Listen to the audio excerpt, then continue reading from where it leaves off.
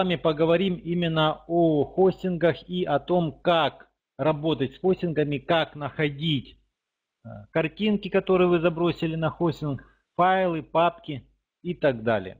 Так скажем, самый распространенный хостинг у нас, с которым, вот я знаю, большинство работает, это TimeWeb. Поэтому я сейчас покажу на TimeWeb и э, возможно, что у кого-то есть PaceWeb, допустим, вот мы можем просмотреть PaceWeb. Эти хостинги, они, так скажем, русскоязычные и в принципе э, все в них практически одинаковое. Значит, что нам нужно обязательно знать для того, чтобы работать с FTP клиентами, то есть загружать на хостинги и для того, чтобы заходить на эти хостинги и что-то делать с ними. Значит, смотрите, на SpaceWeb что мы должны обязательно запомнить, что нам нужно? Это логин.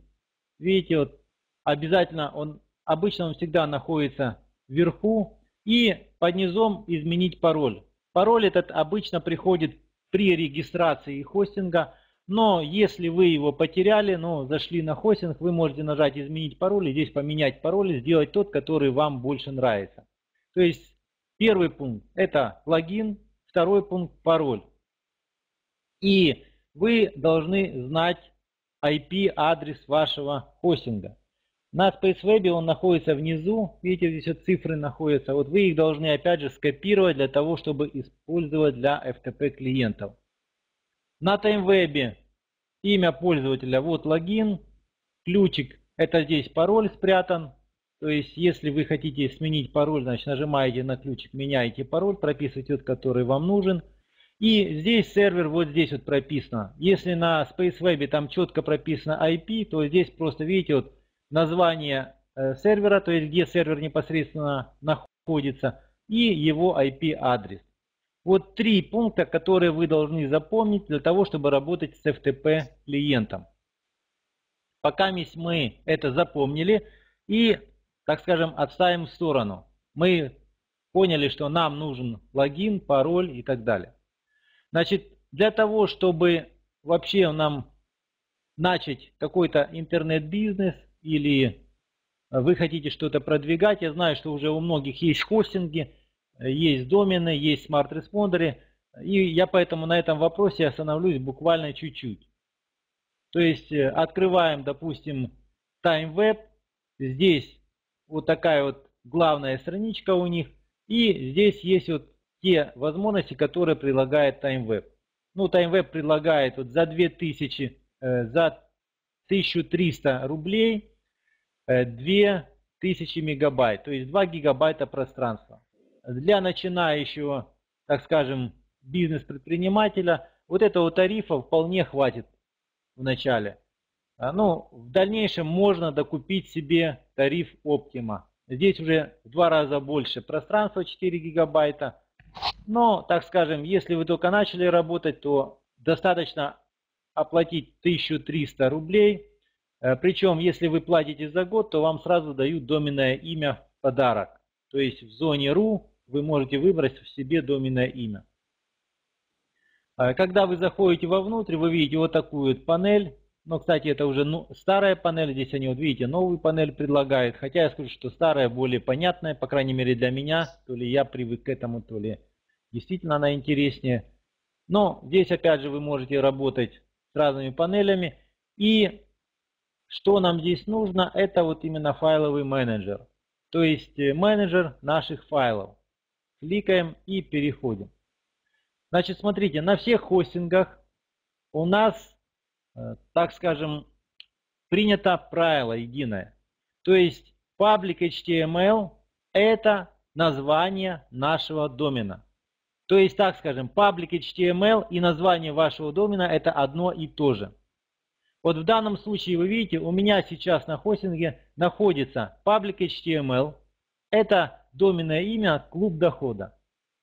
И если мы туда вовнутрь зайдем, мы увидим здесь, видите, здесь находится именно WordPress, то есть на домене находится непосредственно WordPress, наш блог. А рядышком сделаны два поддомена. То есть я сделал поддомен курс, клуб дохода, то есть это подомен. И ваш клуб дохода. Это тоже поддомен. Но обратите внимание, чем папка отличается от поддомена. То есть, когда мы заходим в курс клуб дохода в поддомен, мы видим снова public HTML. Что это нам говорит? У нас сейчас вот прописано, видите, вот курс.клубдохода.ру. Если брать э, в глобальном масштабе, то курс в данном случае это домен тоже, друзья. Точно такой же домен, как вы покупали. Но только это домен третьего уровня. То есть у нас, смотрите, домен первого уровня это ru. То есть именно вот э, самый главный домен, когда компьютер начинает что-то искать, он в первую очередь ищет домен ru.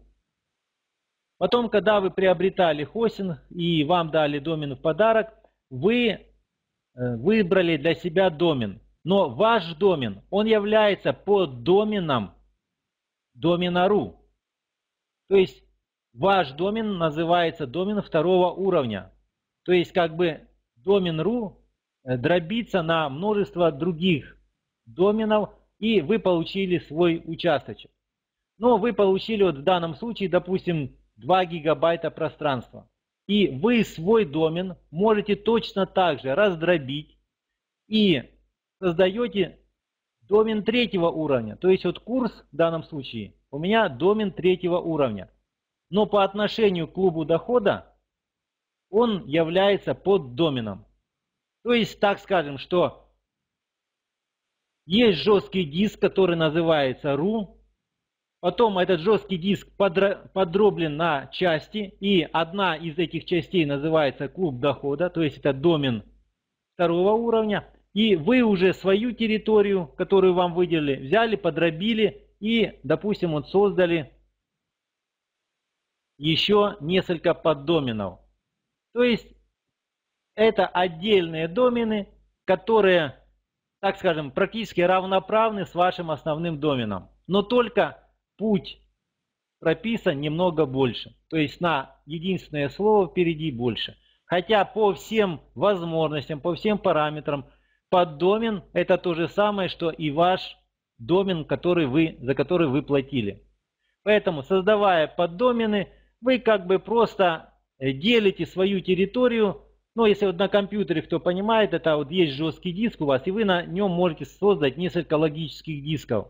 Там диск C, диск D, диск E, G и так далее. То есть этих дисков можно дробить сколько угодно. Э, все мы прекрасно понимаем, что это все в одном механизме крутится там, все на одном диске, но компьютер это видит как отдельное государство, отдельные диски.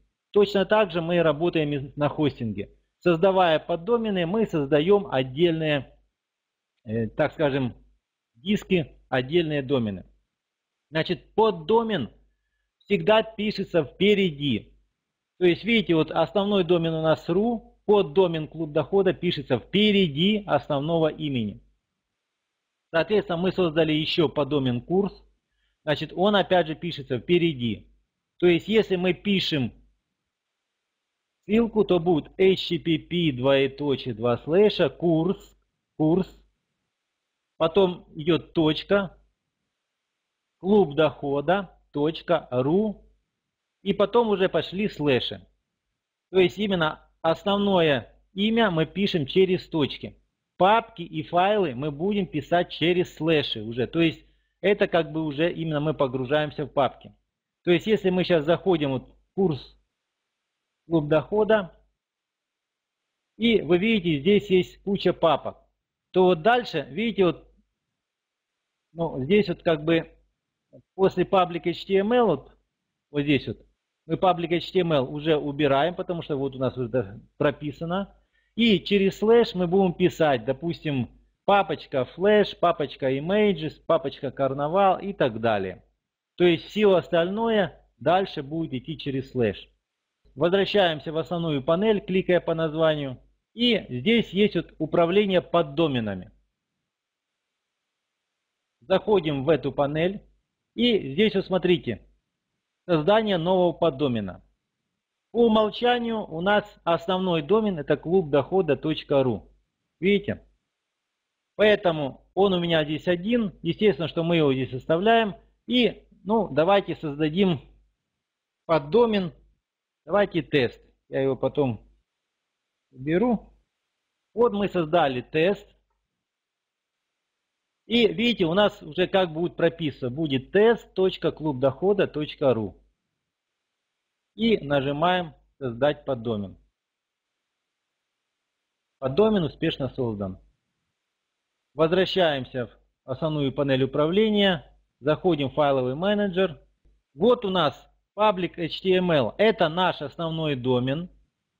То есть клуб дохода. Как я уже сказал, что Public HTML это то же самое, что ваше название основного домена. А вот мы создали поддомен тест клуб дохода.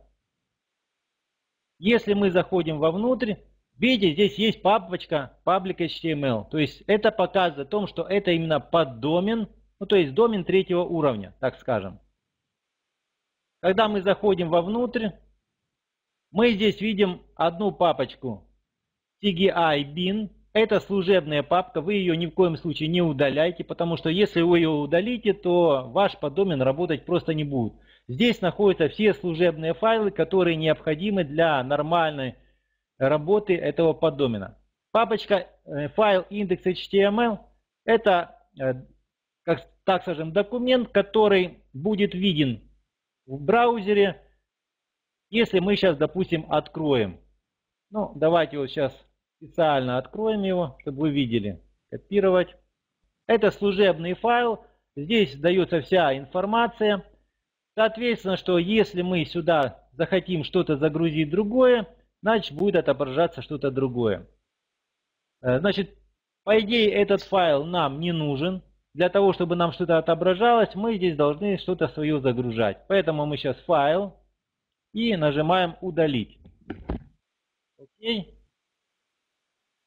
И удалили. У нас осталась только служебная папочка. Нажимаем файл, закачать. Нажимаем обзор.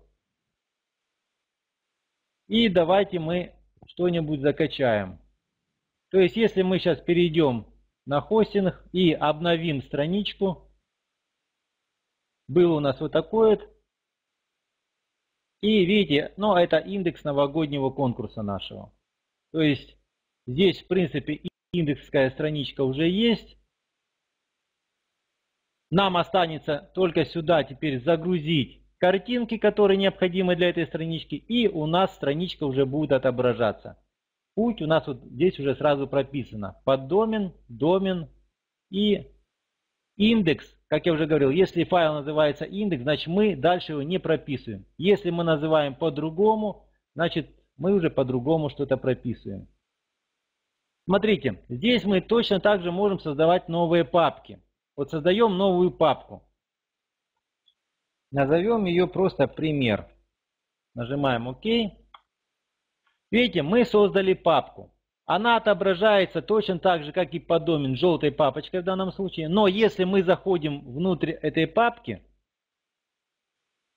то она здесь пустая. Нету паблика HTML. Э, вот в чем отличие поддомена и папки. То есть поддомен это домен с полными правами вашего домена. То есть все, что может выполнять ваш домен, может выполнять поддомен.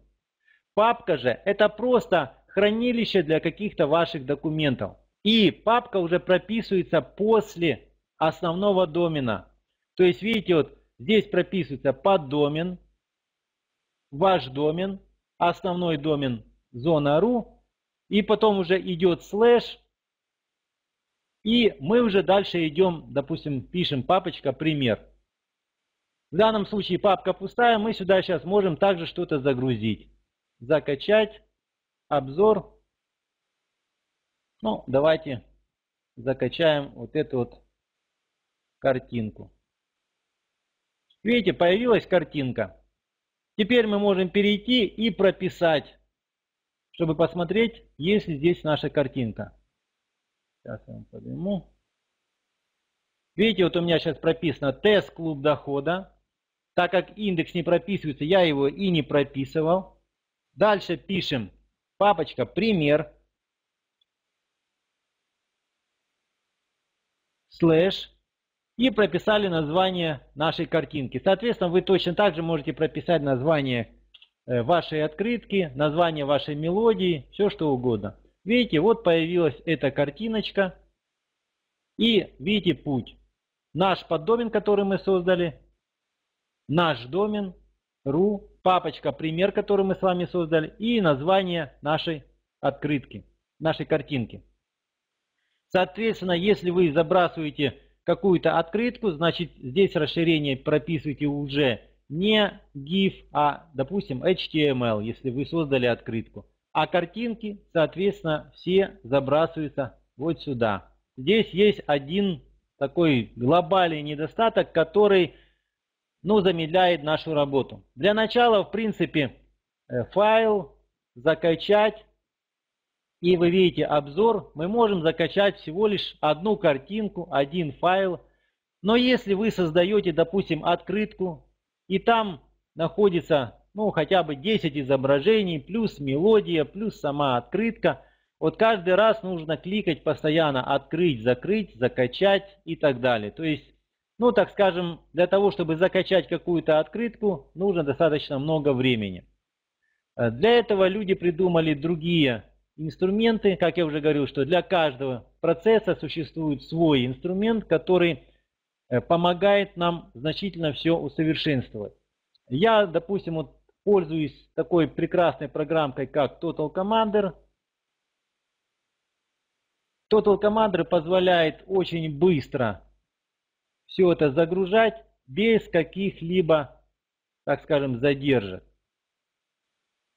Э, значит, Здесь у нас на Total Commander есть два окна, слева и справа. Э, здесь мы можем выбрать, допустим, диск D.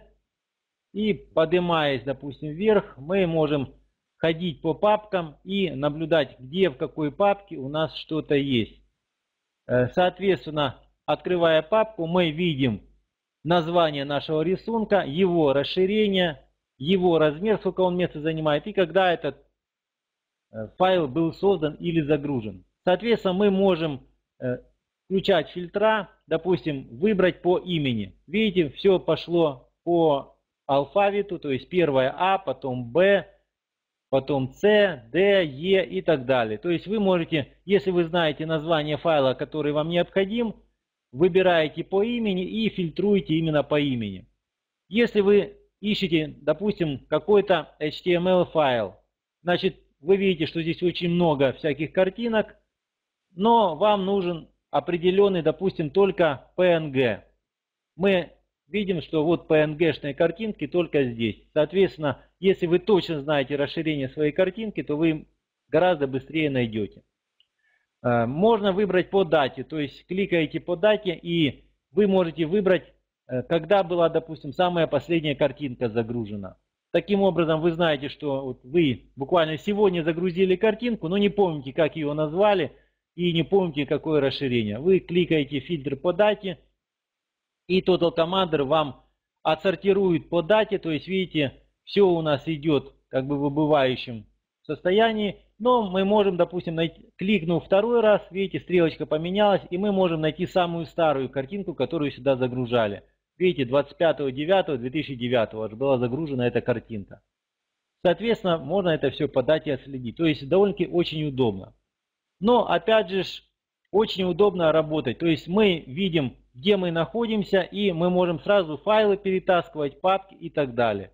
То есть, допустим, берем картинку Лондон, перетащили на эту сторону, отпустили. Компьютер спрашивает перебросить, окей. Все, мы эту картинку перебросили в другую папку совсем, вот на диск D. Опять же здесь, если вам не нравится именно такой вид, вы создаете открытку и вам нужны картинки. Нажимаете на значок «Активный просмотр эскизов» и вы здесь уже можете выбрать ту картинку, которая вам необходима для вашей открытки. Допустим, вы создали здесь, ну вот решили сделать папочку, нажимаем «Каталог» и пишем допустим, Новый год, мы хотим, ну или просто открытка, давайте без разницы. Там открытка.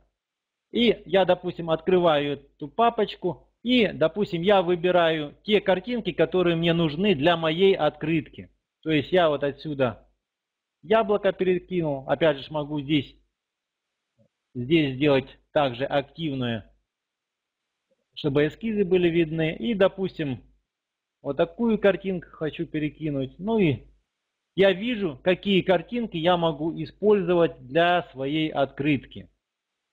Таким образом, как бы очень хорошо это все отображается и, так скажем, не надо задумываться, где какую картинку. Соответственно, я могу подняться выше, выбрать, допустим, другую папочку и, допустим, отсюда еще каких-то картинок добросать.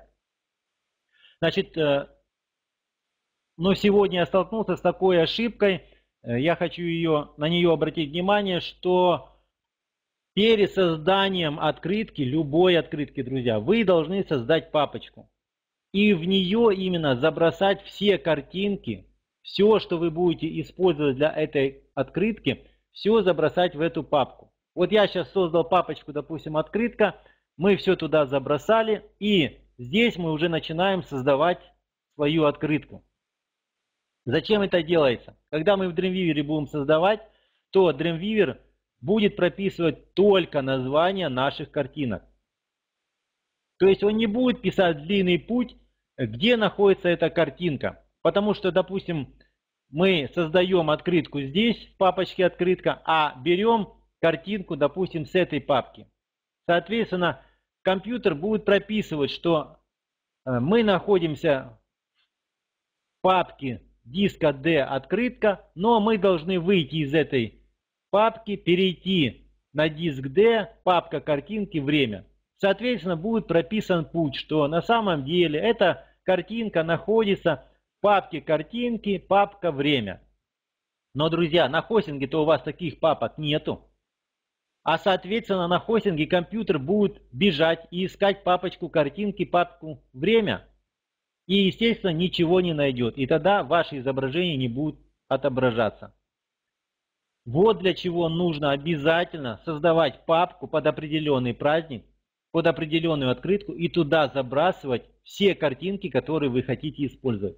И вот именно Total Commander в этом очень хорошо помогает.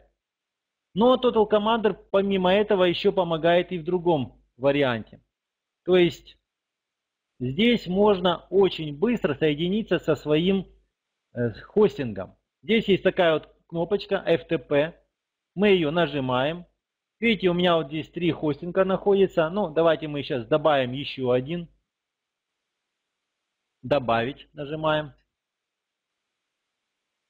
И нам нужно заполнить вот такой вот так скажем, вот такую табличку. Э, имя соединения. Здесь вы пишете сами все, что вам захочется. Мой хостинг, там, TimeWeb, PrintHost, без разницы. Это чисто для вас, чтобы вы могли определить, что это именно ваш хостинг.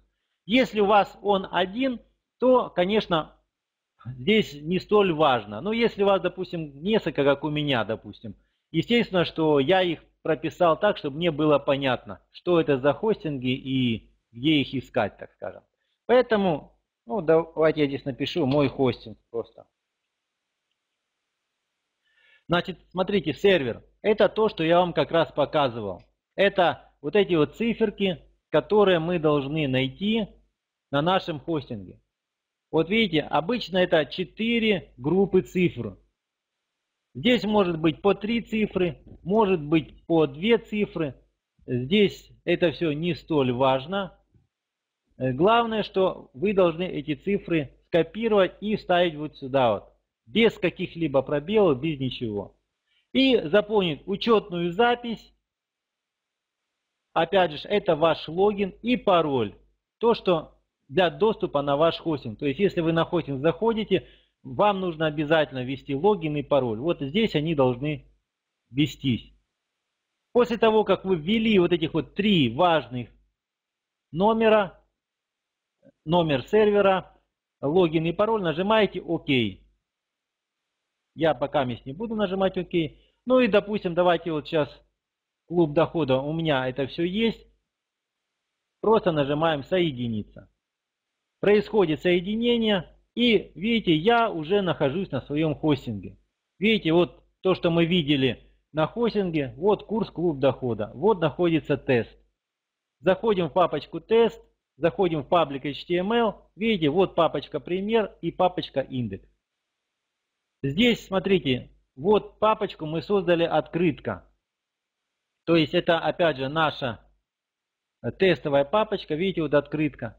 И в отличие от хостинга, где мы можем загружать только единичные файлы, мы берем эту папочку и перетаскиваем сюда. Нажимаем ОК. Видите, буквально сейчас несколько секунд. И вся папочка со всеми картинками, со всеми HTML файлами, с музыкой, она окажется у вас на хостинге.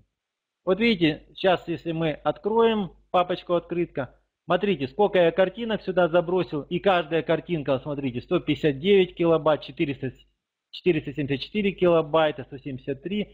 То есть такой вот объем закачался буквально за 2 секунды. А если бы мы сейчас их качали напрямую с хостинга, то это бы заняло у нас намного больше времени. Э, соответственно, вы можете это все и здесь точно так же просмотреть. Но здесь вы рисунки не увидите, потому что это уже на хостинге все находится.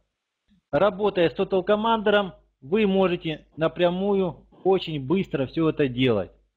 Э, соответственно, вы точно так же можете скачивать с Total Command э, с хостинга что-то. Допустим, вы хотите, вот мы создали папочку пример, мы ее хотим загрузить назад на компьютер. Нажимаем скачать на компьютер. Вот эта папочка пример. Видите, вот эта картиночка, все скачалось. Для скачивания с хостинга вам понадобится гораздо больше времени. То, что это все будет единичными файлами и то, что работа напрямую гораздо дольше занимает времени, гораздо больше. Просто кликайте на значок FileZilla, и она открывается вот сразу у вас. Так, у нас здесь есть вот такая вот вкладочка, как файл. Кликаем на файл, менеджер сайтов.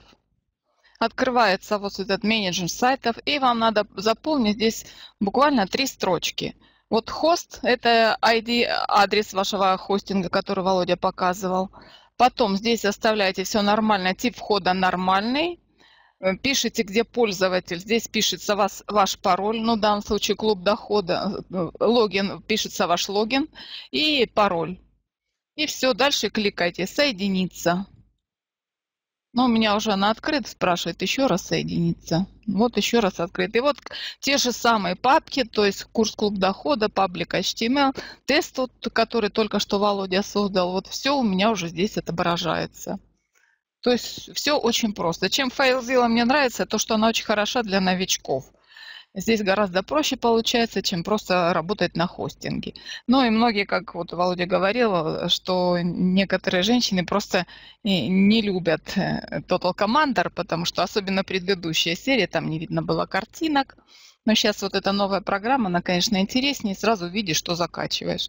Ну, а закачивать файлы точно так же. Вот, допустим, вот выбираем мы папку, вернее, наш домен курсклубдохода.ру, Здесь паблик HTML, и вот здесь открываются все наши э, файлы, все наши папочки, где мы, куда мы закачиваем. Папка тест, допустим, которую мы сейчас закачиваем все наши уроки.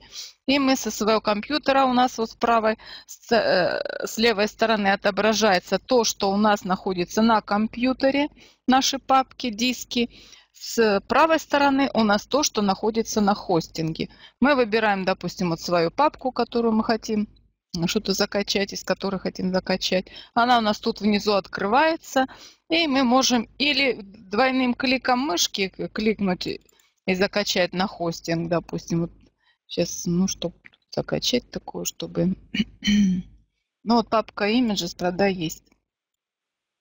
Если мы хотим закачать папку на хостинг, то мы кликаем правой кнопкой мышки и из всплывающего окошка выбираем «Закачать на сервер». И вот наша папка здесь вот появляется. Папки тест. Если просто хотим какой-то файлик отдельный, то просто кликаем два раза левой кнопкой мышки и все. И у нас этот файл здесь появляется. Ну, сейчас какой-нибудь любой закачаю. 0.30. Вот он у нас появился, вот этот файл здесь. Ну, таким вот образом работаем мы с Total, с, с работаем с FileZilla. Думаю, что это все понятно.